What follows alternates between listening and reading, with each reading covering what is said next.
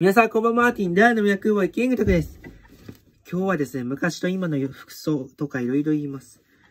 昔ですね、大礼服、これね、警察、これね、和洋折衷の男、これびっくりしますね。あと、教員の服はまあ、昔、まあ制服やいろいろ多かったけど、今変わってますね。高校生はまあ制服じゃなかったけど、こういう、おこそ頭巾の婦人とか、まあ、小学生はまあ、制服ではなかった昔は。今は制服ですけども。もう、マント、自路長みたいな感じ、男性は。女性はまあ、こういう袴姿ですね。まあ、大学生もよくあります。職人はまあ、いろいろ。農民もまあ、いろいろですね。はい。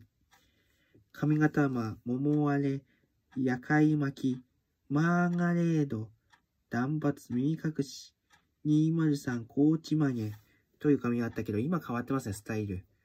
ギャルもすごいですね。住まいもいろいろ変わってますし、生活用具はまあ、米ます。今でもある。飯びつ昔、七輪今ありますね。鉄瓶今ある。いやだって、まあ、いろりとか、その他、微中具は内具は好き、引き具は斧なったとかありますし、ランプ、提灯、アンドンあったけど、今は電気、LED の電気ですね。えー、電話はダイヤル黒電話、ガスアイロン、扇風機、電気扇風機、足踏みミシン、ガストースター、電気自動炊飯器、洗濯機、冷蔵庫、白黒テレビあったけど、今は AI の時代になってます。AI の時代と覚えてください。ラジオ、LP レコード、二眼レフカメラ、今 iPhone 12が最新。乗り物ですと本格的軽自動車、オートサンギャルが、ハスラーとかいろいろ変わってますね、車。ビッツとか。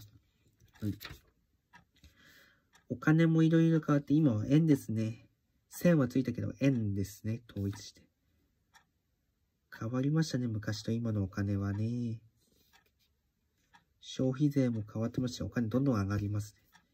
学校制度いろいろあるけども、教科書、違いますね。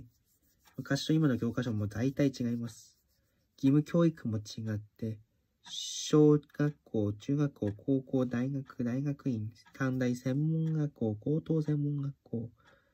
学校は今ではそう義務教育校になってるけど、昔は違うんです。小学校と高等科、尋常科となって、模範学校、中等学校とか、高等女子校とか、高女子専門学校、実業学校もあって、専門学校、あとは高等学校、大学、大学院とは、構成が全然違うもんでございます。